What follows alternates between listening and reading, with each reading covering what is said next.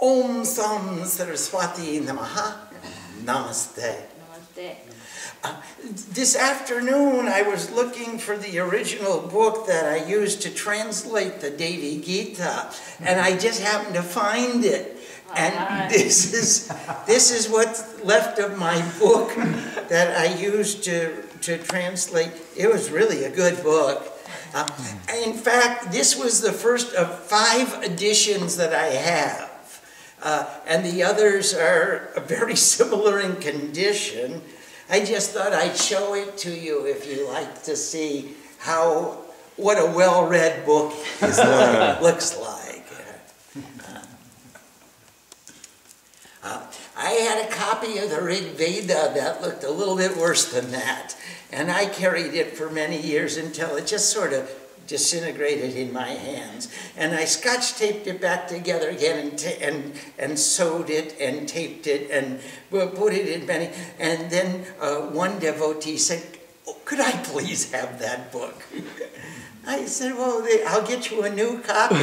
no, no, I want that book. Om Sam Saraswati Namaha. Namaste. Tonight we're going to begin chapter one, and I see that we're on page 28 of the Devi Gita. Actually, if you are reading in the Devi Bhagavatam, I sort of cheated. And I took the last, I think maybe 18 to 20 verses of chapter 28 and added them together in chapter 29.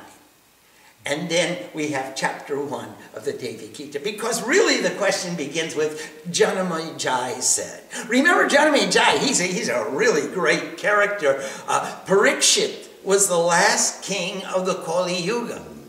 And Janamejai was the first king of I, am sorry, the, the, was the last king of the Dwapar Yuga, and Janamejaya is the first king of the, of the Kali Yuga.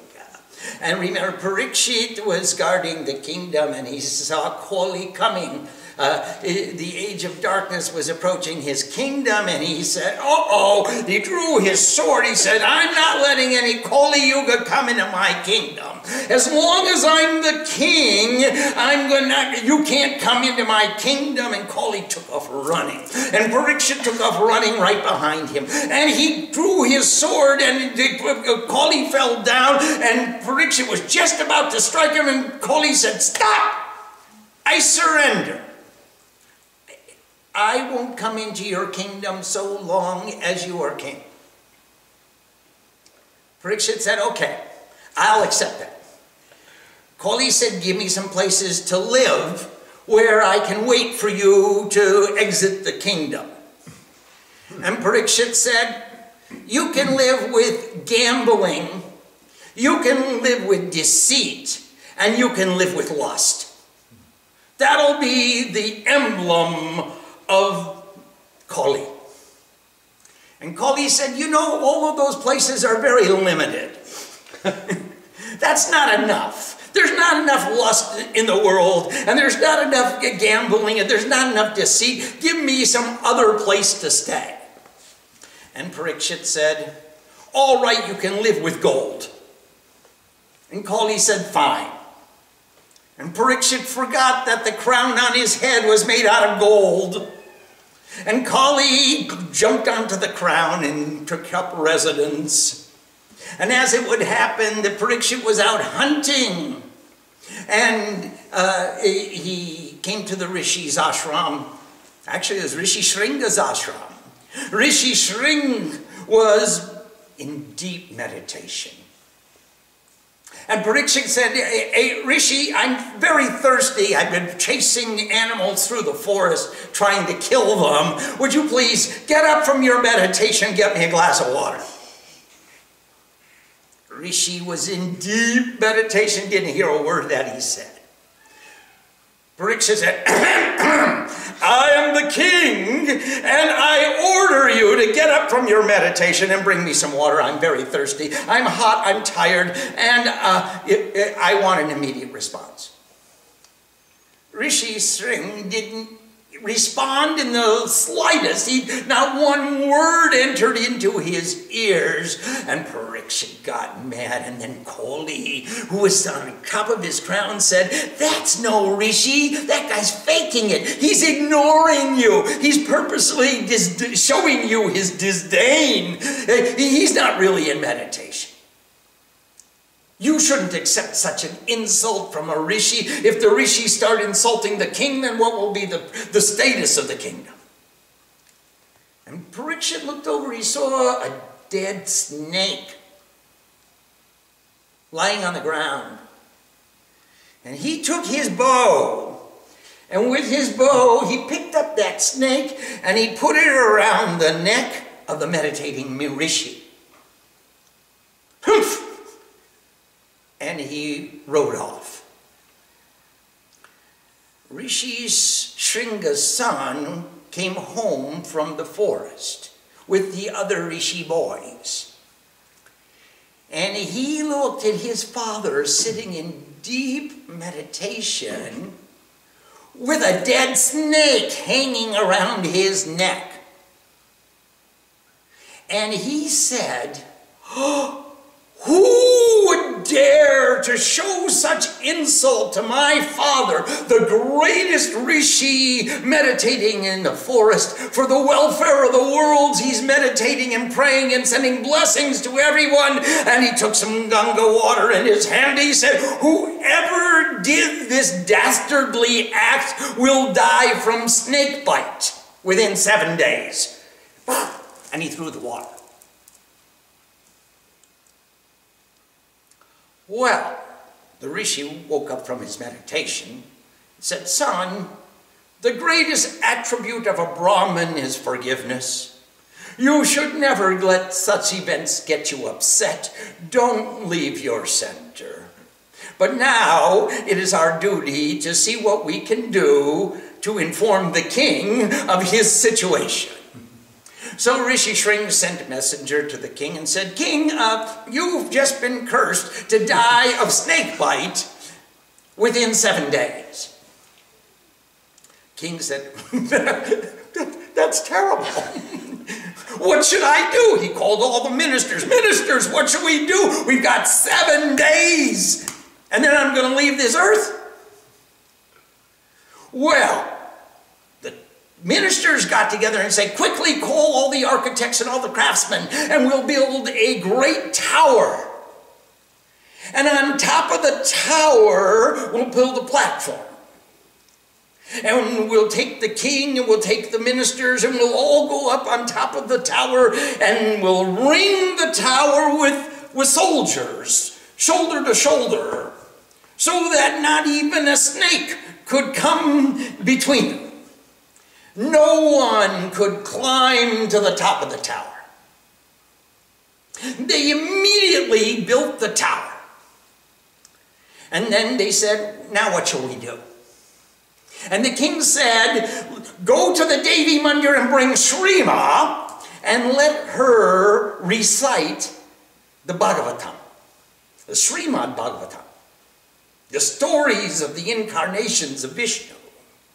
Remember Vishnu, Krishna, Hrishikesha, Vasudeva, Janardana. All the incarnations of Vishnu will tell the stories. Shrima, in the form of Vedyas, will come to the top of the tower and they immediately they circled the tower with soldiers shoulder to shoulder and Shrima and Obedivyas and all, and all the other rishis and munis they came and they and the ministers and the king sat on his throne at the top of the platform on top of the tower circled by soldiers and they listened to the recitation of the Srimad Bhagavatam.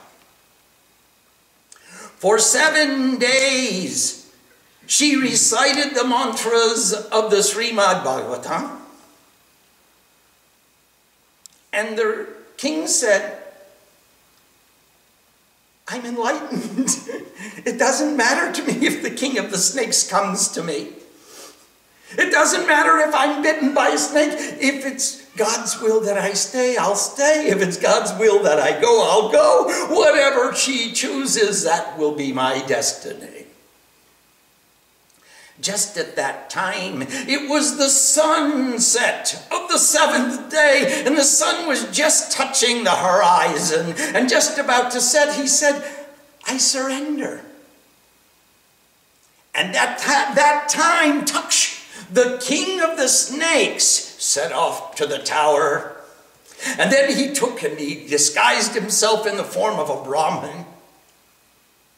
And he came to the captain of the guard and said, Captain of the guard, allow me to go to the top of the tower. Captain of the guard said, No, it's not possible. Maybe tomorrow you can go to the top of the tower, but to, the sun is just touching the horizon. It's almost sunset.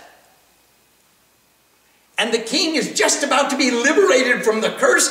I cannot allow you to go to the top of the tower. And the king of the snakes in the form of a Brahmin said, we have been praying for the welfare of the king since we received the news of his imminent demise. At least we brought this basket of fruit. At the very least, would you please send the prasad from our worship to the king? You know how inauspicious it is for a devotee to refuse the prasad of a worshipping Brahmin. Captain the guard said, Stop, let me ask the king. Captain the guard sent a messenger to the king.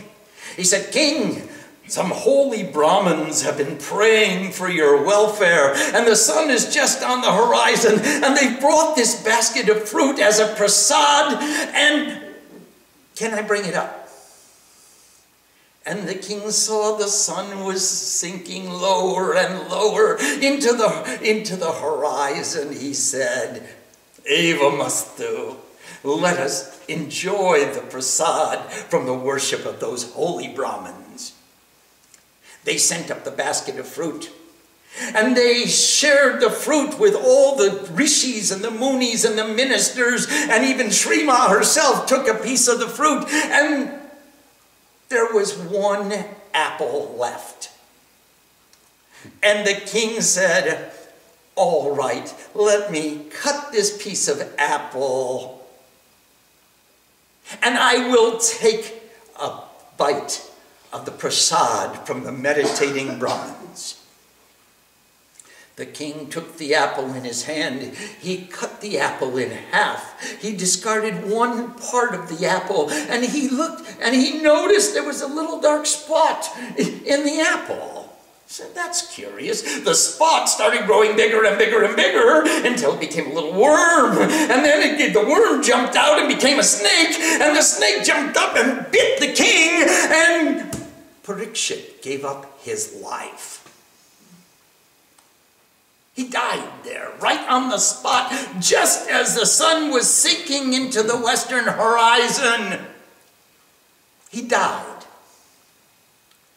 Now, his wife, the queen, was pregnant.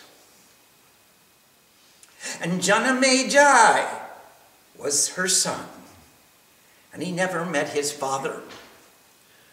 But as time went by, and he grew into a healthy and strong and noble prince, and he became the king of the kingdom. And one day, Janamejai turned to his ministers and said, Ministers, tell me about my father. How did my dad die? What happened to him? And the minister said, You know, your father was cursed to die by snake bite. But he achieved liberation by listening to the Bhagavatam. And Janamejai said, Well, who was the snake that bit him? And they answered, Taksh, the king of the snakes killed your father. And Janamejai said, It is the duty of the son to avenge the death of his father. I hereby declare all snakes persona non grata. They are all barboto. They are all to be sacrificed in the great snake yajna. I don't remember how many of you were with us uh, when we visited uh, uh, uh Guptakashi. But there at Guptakashi, just down below, is the Havan Kund, where Janamejai performed the, the Mahan. And he sent out his soldiers all over the kingdom. And he said, Soldiers, capture every snake you find. Every snake you can possibly find, capture them and bring them to my yagya. We will sing the mantras and throw them in the fire. We will eradicate snakes from the face of the earth. Well, the soldiers went around all the known world. They captured every snake they could find, and they brought them all to Guptakashi, and they brought them all to the great yagya. And Janamejai presided over the yagya, and he chanted the mantras, and he threw all of the snakes into the fire. Taksh was terrified. He's committing genocide. He's eradicating snakes from the face of this creation. Who can save me? Janamejai, I, I, am sorry, Taksh, went to Manasa Devi. Hmm. And he said, Devi, proceed.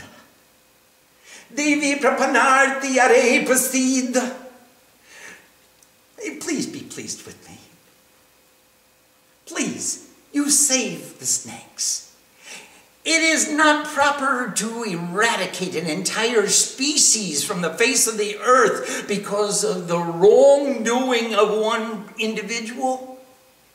And it wasn't even wrongdoing, he was cursed. It was in fulfillment of the Rishi's curse. Now, find a way to stop the yagya.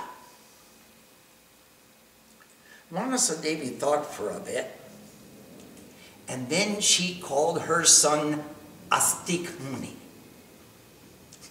And she said, Astik Muni, uh, uh, Muni of uh, the, the highest realization, the highest unity. You're beyond all duality. You are Astik.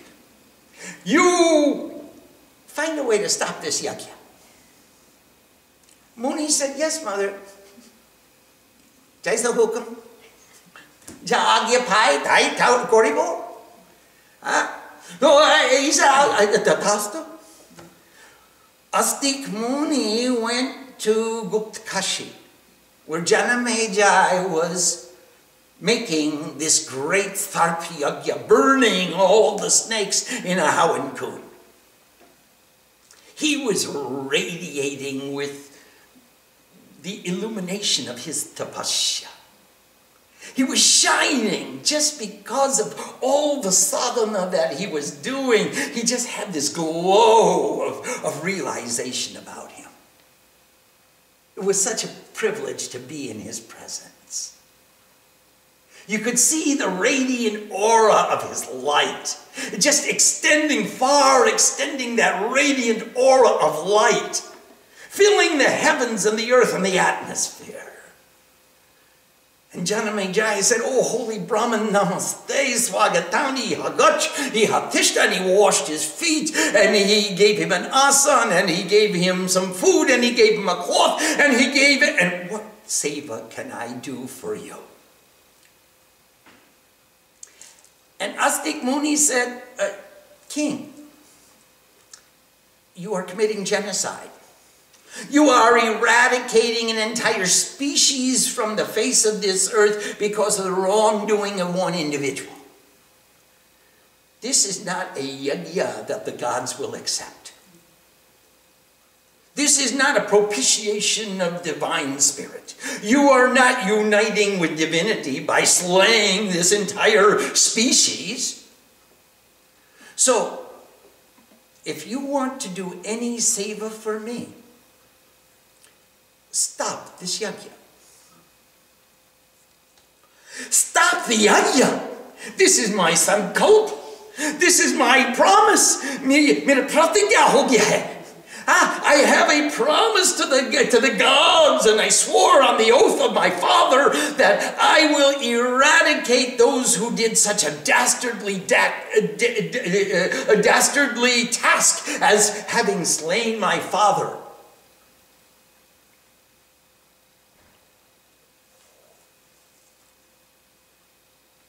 Astik Muni said, that will not do. You have to find some way to complete this yagya without destroying the entire species of snakes. Janamejai said, how can I do that? And Astik said, go to the Devi Mandir and call Srima and let her recite for you the story of the Srimad Devi Bhagavatam.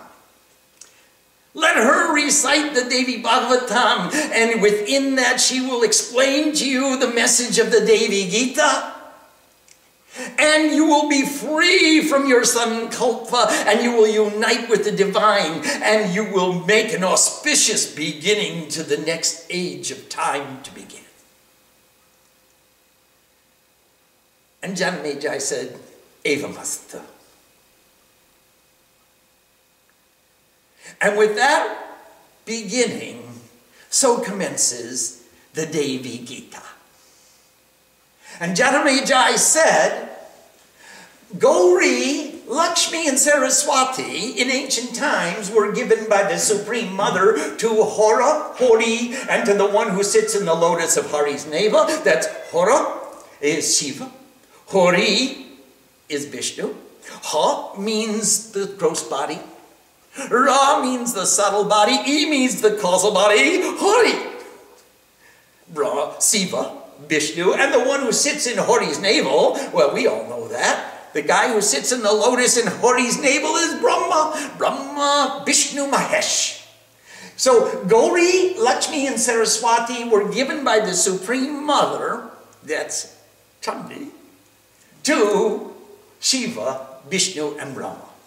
And I have heard that Gauri is also the daughter of Himalayas because she became Parvati. And she's the daughter of Daksh as well. She, Sati, hey, she, this lady gets around.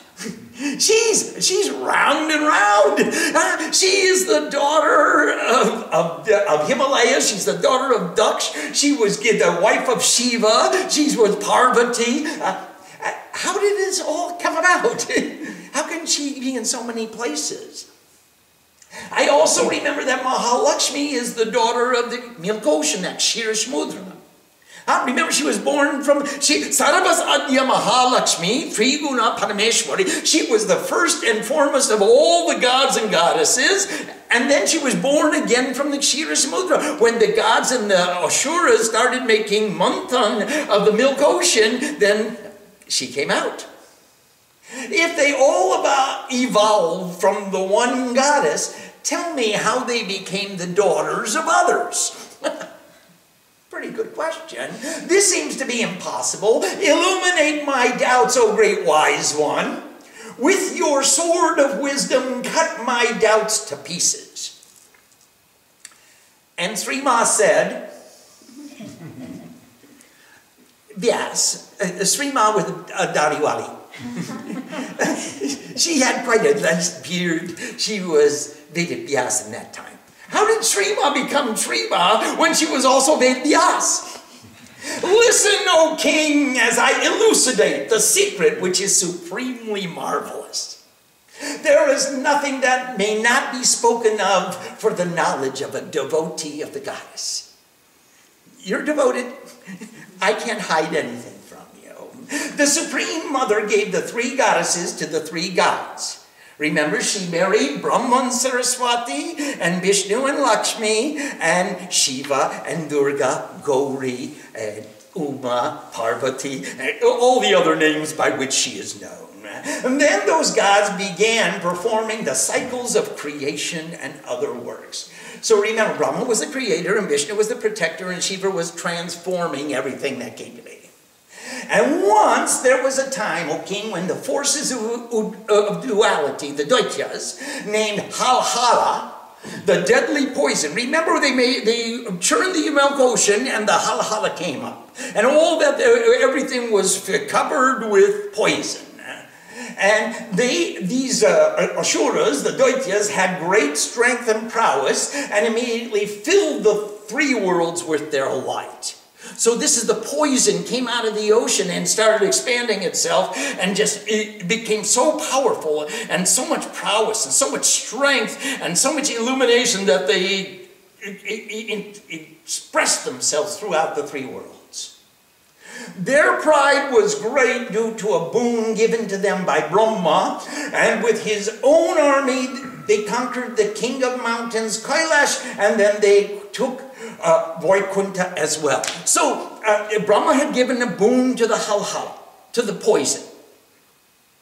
And they were so proud of that boon that no one had the strength to defeat them that they conquered Kailash, the Shiva's abode. They took over Vaikunt, Vishnu's abode, and uh, uh, then they, the adversary of love, that Shiva, remember Shiva burnt love, huh? Uh, and the opponent of Koitaba, that's Vishnu, remember he cut off Koitaba, Madhu and Koita too much and too little, he, he destroyed them. They became involved in the cycle of fighting. So uh, Shiva and Vishnu started, joined the war.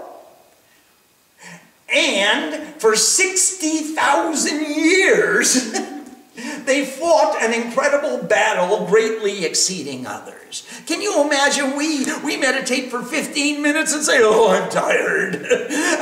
we fight with our Asuras for a half an hour and say, Oh, I got a pain in the neck. I got a cramp in my foot. I got stuff to do that's more important. Let's leave this business. 60,000 divine years they fought this incredible battle, shouting, Ha ha, hoo hoo etc., etc. In great tones, both the armies of the gods and the Danavas engaged in tremendous effort until finally the Danavas were defeated. It's a big struggle. But the gods won with Shiva and Vishnu at their forefront. They, Shiva and Vishnu, went each to his own place with a feeling of pride for the victory in the encounter.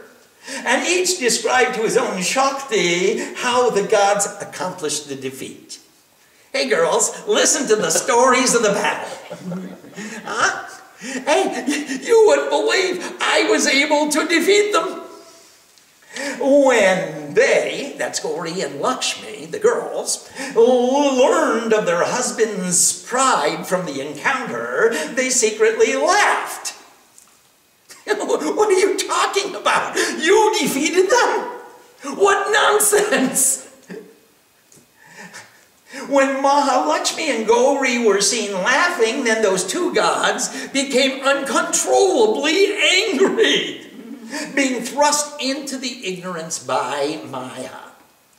So here's another example. Maya took over. Shiva saw Mohini and Maya took over. The gods, as Shiva and Vishnu started telling, narrating the, their exploits in battle and saying, proclaiming their victory. And Maya took over.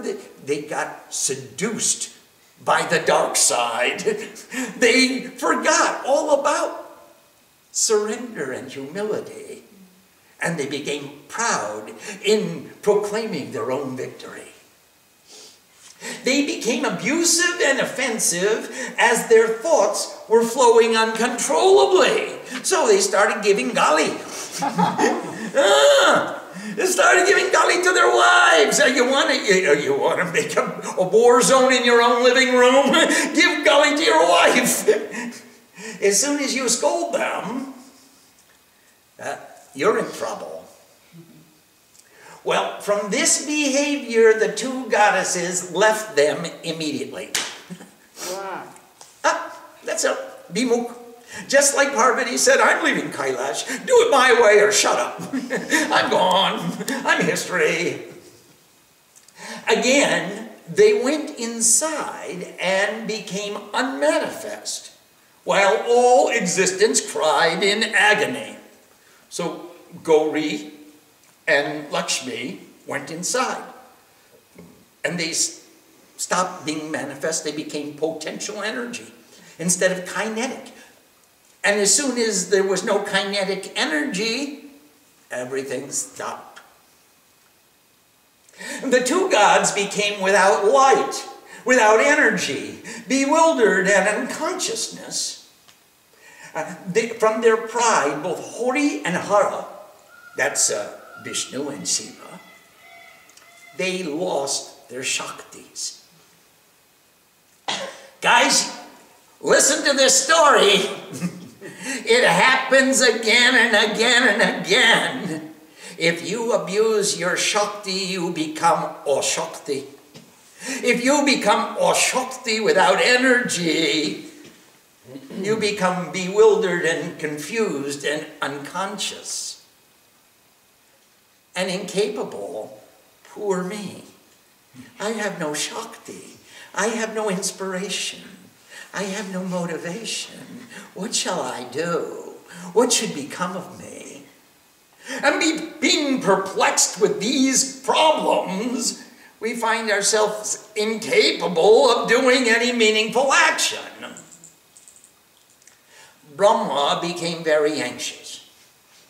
What is this present circumstance? What's going on in my creation? Ah, between the two principal de deities, tell me, how have they become incapable of performing their functions? Vishnu and Shiva aren't working. They're just sitting around moping. What is going to happen here? What's going on? What is the reason for this? Why are they not present? Why did they come to work today? Will the entire universe dissolve into indistinguishable existence? Does this mean it's over? No Vishnu, no Shiva? No Lakshmi, no Gauri? I don't know the reasons for this, nor what is feasible to be done. And thus, with great anxiety, he closed his eyes in contemplation. Let's think. What happened? What's the problem? What's the resolution? How do we find a solution? What's going to be done? And then he saw that the supreme energy's anger had arisen, and this was the cause. Don't make the goddess angry. The lotus one Brahma sought to be careful that creation did not cease, O excellent king. And then he began to perform all by himself those functions which were being neglected, namely preservation and destruction. Yet he was doing the creation, so now he had to create, preserve, and transform the entire, he had to do it all. Because the intense exertion of his energy, his time was absorbed in these activities, and they became his only austerity. That's all he had time to do, was run the ashram. Huh?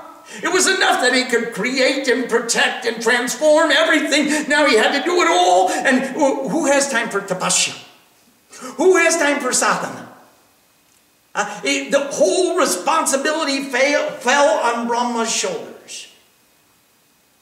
To search how to gain Shiva and Vishnu's health again, he called his sons and invited those dharmic souls, Shanka, Sanaka, and others of truthful vows. Hey guys, come on to the Devi Mandir. We're going to powwow and we're going to figure out what can we do about this. How are we going to resolve these issues? And then he explained to them, guys, I am so occupied by these worldly functions that I cannot engage in the performance of austerities. Where have you heard that before? Have any of you heard that before? I don't have time for sadhana. I have to create, protect, and transform this world. You proceed with the objective of pleasing their Shaktis, while I continue the heavy lifting, the heavy work of this universe. Shiva and Vishnu have become negligent and inattentive because of the anger of the supreme energy. Do what is possible to make the supreme energy pleased. Performing difficult, extremely difficult austerities with devotion, gain them possession of their former state, united with their Shaktis. So do whatever sadhana you can, whatever austerities you can, whatever tapasya you can, and make their Shaktis pleased and bring them back into manifested existence. Now, my sons, increase your fame and importance in this world. Do the pujas every day. Chant the chandi every day. I'll do the bookkeeping. I'll do the website. I'll take care of the emails. That family in which they take birth, uh, Gauri, uh, Lakshmi, and, and, and Gauri, and Uma, or uh, Parvati, whose ever house in which they take birth, and he who gives them birth will be filled with energy. Can you imagine you're going to become the father of the Divine Mother? You become filled with energy. You become Shaktiman. You become the holder, the owner, the proprietor, the, the manifester of Shakti. And he himself will obtain the objectives of all actions. Uh, that is Chaturbarga. Dharma, Artha, Kama, Moksha. You get Divine Mother to take birth in your house and marry with Shiva, and marry with Vishnu, and you become liberated. The father of the Divine Mother. And hearing these statements, Vyasa, hearing these statements of the great father, Daksh, and others, all the other kids, Daksha was one of them, uh, who were pure within, all went into the forest with the desire to meditate on the Supreme. And thus ends the first chapter. Fun. okay, you got the picture now. Huh? Now, Brahma is busy creating and protecting and transforming the universe. Shiva and Vishnu are just sitting around moping. I've got no Shakti, I've got no energy, I've got no inspiration, I've got no motivation, I'm not doing nothing. Now, Brahma says to the kids, hey guys, rishis, munis, uh, go out into the forest and do tapasya and propitiate the Divine Mother. Whoever is strong enough and consistent enough and sufficiently uh, focused and sufficiently attentive and full of devotion, in that individual's house, the Divine Mother will take birth. Don't be losers. Gain the highest merit. Become the father of the Divine Mother. Make her pay attention to you. And you will become Shaktiman. You will become the holder of Shakti, the father of the Shakti. You get to give her in marriage to Shiva. What a privilege, what an honor, what an accomplishment. That is the value of your lives. Go do tapasya. I will take care of the ashram in your absence. I'll take care of the creation. I'll take care of all that has to. I'll, I'll go to Costco and bring home the groceries. I'll cook them. I'll feed you. I'll take care of all that stuff. You just do tapasya, become fathers of the Divine Iti Pratima Adhyaya. Let's see if there are any questions. Yes, please. We have a question from Nanda in San Jose. Namaste, Nandama. What can the modern man and woman learn from the behaviors of the gods and goddesses in the stories of the Puranas?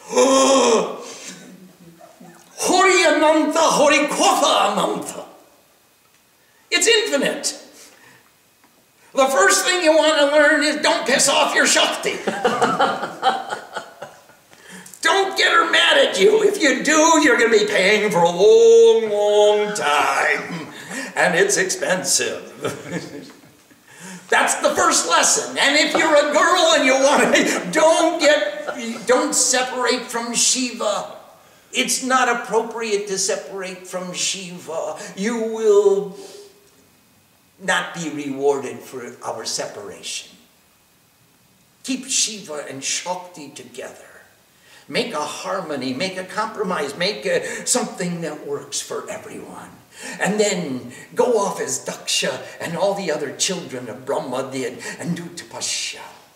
And propitiate the gods and the goddesses. And don't worry about what's in it for me. Think about how can I gain the best for the whole creation? I believe none of these are some of the lessons that we can learn from reading the Puranas. Great stories, but deep meanings. Sometimes it seems like, uh, in terms of partnership, there's uh, if we we don't want to piss off our shaktis. So if our shaktis tell us to do something, and we don't feel like that, that is our dharma, then we're potentially going to piss her off, and then we may lose our inspiration to some extent. How do we navigate ourselves through that sort of situation? Well, first of all, you want to be able to negotiate. Uh, if you can negotiate, uh, that will be the best uh, outcome for everybody. Let's see how we could make this work for all of us. Now, if you refuse to negotiate my Shakti, then I'm going to do it your way. I surrender. I don't want to live in a battle zone. I'll do it your way. We will receive the fruit of your karma as performed by me to the best of my ability.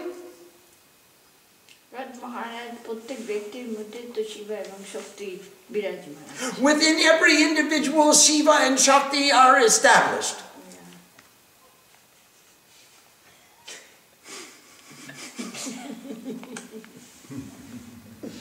So you end up negotiating with yourself.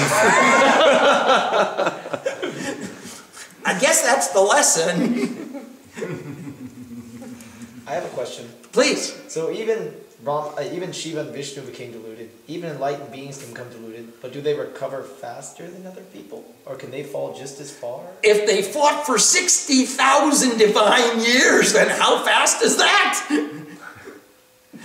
Why are you talking, talking about time in terms of infinity? The fact that they did recover, that was sufficient in itself. Yes, if Brahma falls, if Vishnu falls, if Shiva falls, how about me? It's not going to happen. Wishful thinking. Even after Shiva drank the poison, and he saved the creation. His wife got on the, his case for saying, Why did you say you did it? It was my Shakti that allowed you to do that. Why are you bragging about having accomplished the task? I did it through you. You were merely the vehicle for the, my performance. Why are you taking credit for yourself? I don't want to hang around here anymore. I'm leaving Kailash. That's what Parvati said. And she did. Now, how she did it, oh, that's a whole other story. we'll have to read the Swami Purana for that one. But she did.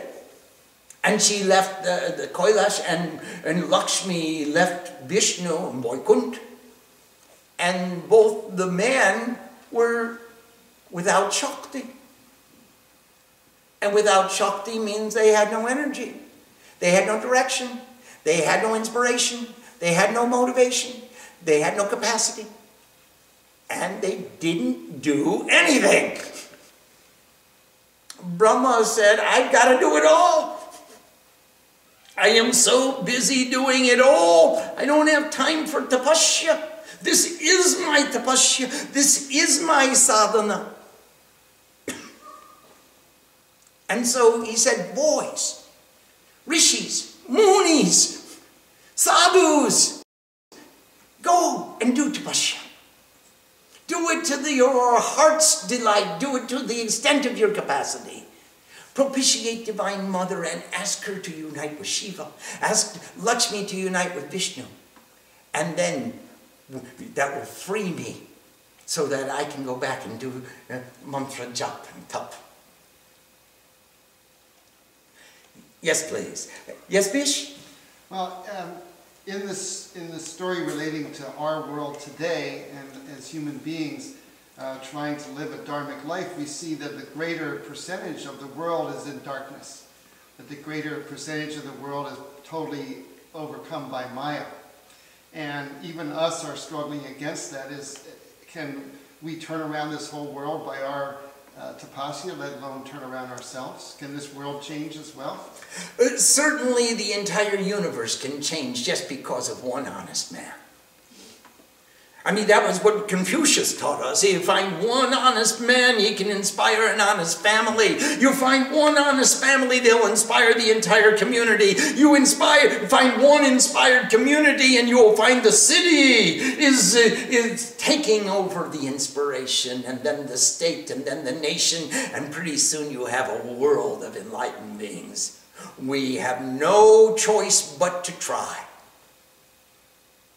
Or I guess the choice would be to surrender and say, okay, I'll live in darkness too. Probably that's not the better decision. We have no choice but to try. Yes, Aditya. We have a question from Kusha in Argentina. Namaste, Kush. What is the difference between Krishna and Kali? Oh, there are many differences. Uh, Krishna is the doer of all from the root Kri. And Kali is the she who is beyond time, or she who takes away the darkness from the root Kal. And Krishna is a masculine form of uh, an avatar of Vishnu, and Kali is a feminine form who is an incarnation of the Divine Mother. So uh, the Divine Mother took the form of Mahakali, Mahalakshmi, Mahasaraswati. So they they work together. There's only one God, there's only one goddess, they are in union, they are in, yeah, in the harmony, but Krishna comes from the, uh, the Dwapar Yuga. And Kali, she was present for a long, much longer time, but she becomes more and more prevalent in the Kali Yuga, the age of darkness. So uh, they are different deities for different times with different functions. Uh, Kusha, you are one woman. When you uh, go to a ball, you wear a ball gown. And when you go swimming, you wear a swimming suit. Where you, when you go to temple, you wear jeans. When you go to a fancy place, you wear fancy clothes. You look different for every function you perform. Is a man or woman? I didn't ask. Parantu the eh, Nand Kusha. Would you get your? so then, I, eh, Kusha, you, you look differently for every function that you perform. You have a different name, you have a different language, you have a different diction, you have a different way of speaking. You, eh, you are called mother by your children and ch child by your mother. You are called sister or brother by your brothers and sisters. You are called uh, a friend by your friends. You have a different name, you have a different appearance, you have a different language, you have a different vocabulary. You, but you're one woman.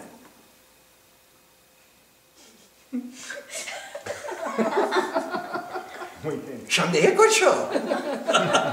Kusha? Actually, man. Okay, I will ask. so therefore, it's the one God has taken on the form of Vishnu, Krishna, Hrishikesha, Boshu, Deva, Janardana, and Kali. And therefore, it, it, there, there are certain subtle distinctions in history, in application, in language, in appearance, in uh, the stories that we tell about the gods and goddesses. But they are one individual manifestation of divinity. Eh, eh, you manifest to take away, eh, to illuminate all with happiness. I mean, that's the, the, the meaning of your name is, is she who illuminates all with happiness. Uh, and uh, Krishna and Kali, uh, Krishna does all the work, all the karma, all the activities of creation from Kri to do. And Kali takes away all the darkness. Now, we only see the light when there's darkness. So when she takes away the darkness, she illuminates the light. Gauri is she who is rays of light. She's the sister of Kali who is takes away the darkness. Which is it? Are you illuminating the light or are you taking away the darkness? Now, in the same way, what is the difference between Krishna and Kali? Okay, you got me. I give up. Yes, please, Rami. Swamiji, uh, here uh, we see that when uh, Shiva is without Shakti, Purushartha, Prakriti, there's lifelessness, lack of energy. If there is Shakti without Shiva, what would characterize that? We would call that fully potential energy. It's the energy stored in a battery. Shiva is Shavrup. He is merely the witness of the actions of Shakti. Shakti is aprataksh. She is, uh, she is unmanifest. She is like the energy in the battery. You can't see it. You gotta attach something to the battery which gets a jolt and then it moves. Uh, so it, she becomes totally cons consumed by herself, totally one within her own self. Instead of kinetic energy, which is being manifest all the time, she becomes potential energy. Shiva, instead of being the witness of the actions, there's no actor. He becomes Shavrup. Yes, please. We have a question from Ambika. Namaste, Ambika. Namaste, Sham. When life is hard and we feel like we are losing the battles, and even the great tones of ha ha are not enough, how do we find the energy in Bob to feel worthy? Thank you. Say it louder! ha ha! Hoo hoo! Uh, yeah, call on God with the sincerity of someone who really wants God to appear. It, it's not enough to, for us to have an intellectual love affair. We want to love with all our heart, with all our sincerity, with all our passion. Uh, reaching the state of dispassion is not our goal. It's to become extremely passionate about our worship. I'm calling God. I'm worshiping my, my deity. I'm worshiping my, my, my life with the sincerity, with the focus, with the attentiveness of ha ha. Not just. So in greater and greater intensity, we must make jop of what a privilege it is for us to experience all that is necessary to experience while we're experiencing it so that we can get beyond this past karma so that we can get to the new karma which I'm cultivating today, the seeds of which I'm cultivating today, the fruits of which I will be harvesting tomorrow. Let us prepare for the great harvest of the future. Cultivate the proper seeds and you'll know what kind of fruit you're going to harvest. Right now, we are dismayed to see the fruit that we're getting today. We're getting that, unfortunately, because we get to enjoy the fruit of our karma, whether we like it or not. And knowing that we're going to enjoy it, whether you want to or not, then we better be careful that the rest of the time when we're not enjoying the old stuff, we better be cultivating new stuff, the fruits of which we will be pleased to receive.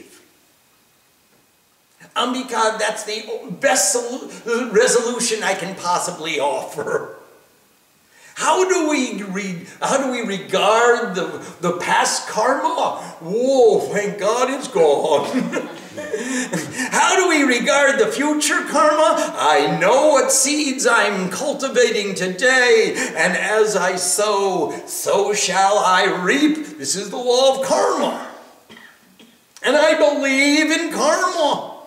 So therefore, Kri means do, and Pa means get. And the Kripa, the grace, is what you do, is what you get. And once you remember that, we're free. This doesn't bother me so much because I know that today I'm sowing good seeds. Tomorrow I'm going to be eating delicious fruit. And I can put up with the bitterness of the fruit that I'm receiving today because I know that tomorrow this too shall pass. Yes, please. We have a question from Srini. Oh, I'm Mr. Srini Baba Namaste. I'm holding your wife hostage.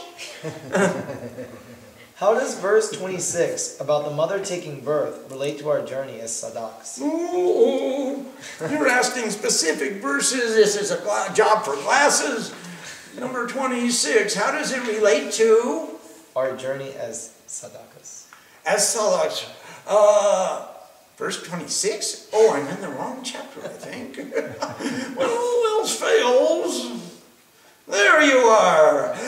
Do you know, in that family in which the Divine Mother will take birth, we all, the whole family rejoices when even one individual becomes a perpetual worshiper of the Divine Mother. The whole family rejoices. The whole family is filled with inspiration, with, with, uh, renewed vigor, with a total new energy, with an inspiration and a motivation. They don't become like lethargic Shiva and Vishnu, just hanging around waiting for something to happen. They become, they take responsibility to make that worship manifest. And they make life into a consistent series of festivals. And it's a celebration. And every, you know, being Hindu, there's a, a there are 13 festivals in 12 months. and that you got to keep you on your toes. Because it's no sooner do you complete the next festival than you start preparing for the, the one after. And that becomes the life of the family in whose home the Divine Mother energy takes birth.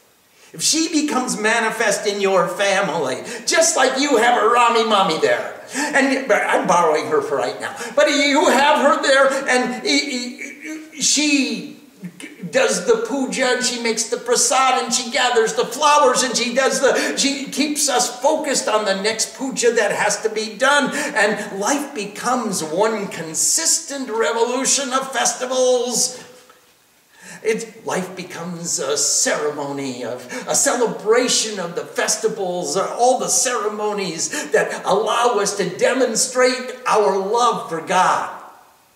And that's what happens in the family in which the Divine Mother takes birth.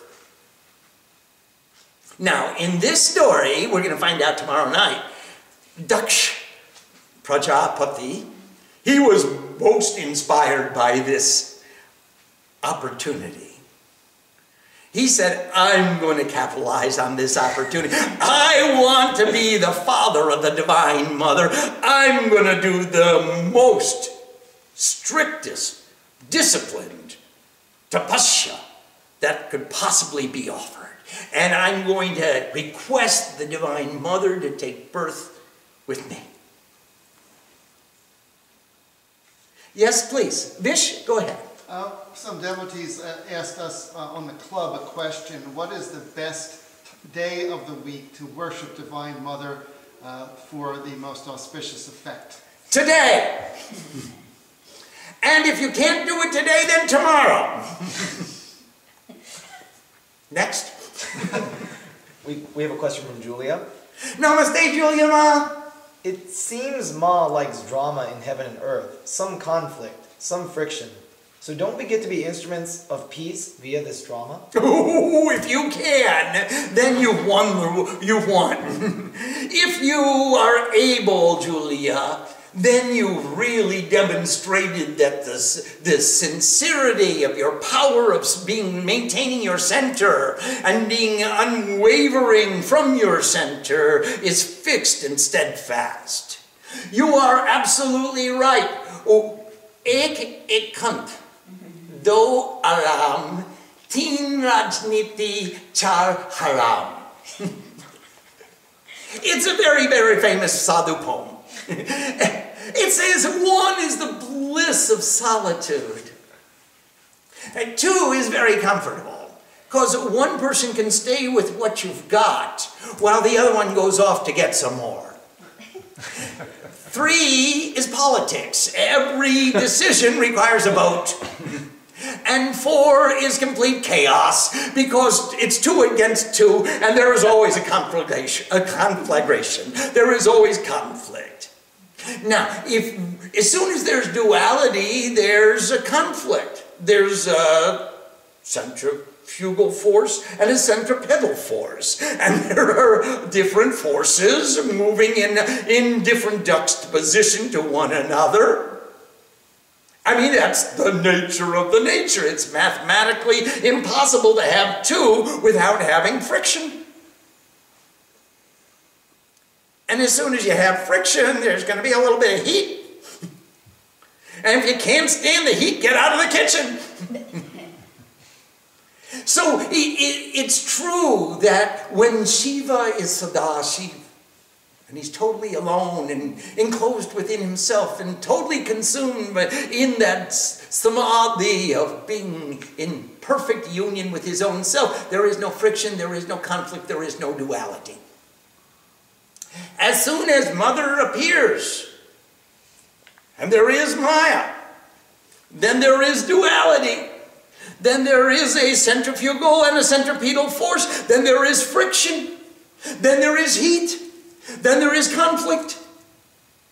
And mother, by her very definition of the word, she loves conflict.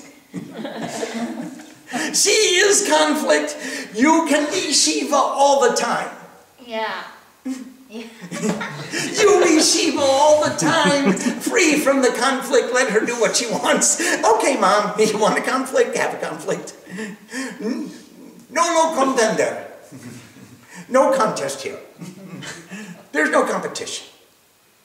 All I want is to surrender as quickly as possible. Here's the dotted line. Please feel free to cut at any time. And take that head and put it in your hand. And I will be most pleased to stay there as long as you choose. Just don't give it back to me. That, that the main purpose to do puja. That is the main purpose to do puja. To remove ourselves from conflict, to make ourselves Shiva all the time. Om Sam Saraswati Namaha.